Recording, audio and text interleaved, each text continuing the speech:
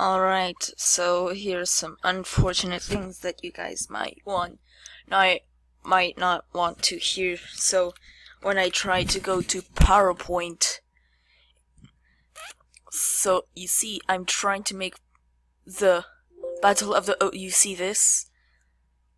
Activation wizard is something is something has happened. It's like my thing is disabled now and now I can't do anything except for like view slides and stuff and PowerPoint presentations. So until I like get my PowerPoint back, there will be absolutely nothing. I was working. I was I was gonna work on Botox 2A, but this crap happened, so it's not gonna be here for a long time.